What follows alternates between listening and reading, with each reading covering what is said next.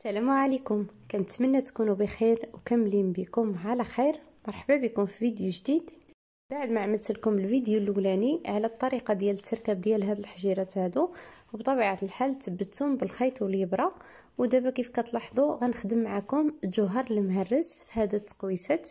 بقاو معايا حتى لآخر الفيديو. بالنسبة لهاد التقويسات كيف كتلاحظوا كنخدموا من الجوهر المهرس بالحق داك الجوهر المهرس اللي رقيق بزاف. بطبيعة الحال ماركة عفوا اللي مزيانة.